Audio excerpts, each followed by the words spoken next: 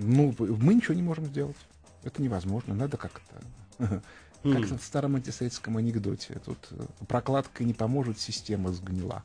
Да ладно. И советская система сгнила, и капиталистическая система а, сгнила. Ну, советская и... система, да, действительно. Так, после 64 -го года стала подгнивать, а под конец сгнила окончательно. На самом деле, вот эта система, да, ну, социалистическая система, скажем так, она вообще дееспособна? И вообще, было у нас перспективы и будущее? Нет, а почему нет? Оно было такое же, как и на Западе.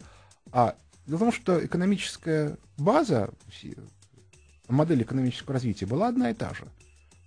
СССР выступал э, в мире как государство-корпорация, а соответственно, да. и поэтому там было плановое хозяйство. В этом смысле внутренняя система управления ничем не отличалась там, от какого-нибудь General Motors. Ну, собственно, General Motors, японские корпорации, особенно у нас, угу. всю систему да ладно. Газплана своровали. Ну, конечно.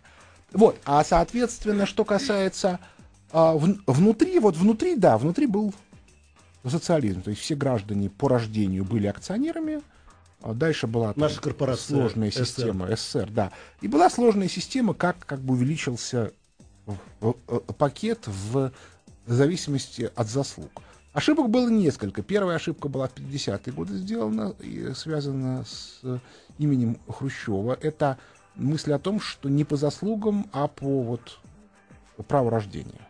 А. а по факту существования. Значит, первое. А второе, это 64 год, когда, значит, в ЦК КПСС было принято решение, что теперь, поскольку один раз уже там ну, сняли да. генсека, а больше нам такого не надо, было принято решение, что людей, у которых есть самостоятельное мнение и самостоятельная позиция, по мере возможности по карьерной лестнице не продвигать. Да вы что? Ну и в результате за поколение, как раз за 25 лет, вся система и как бы умерла намертво.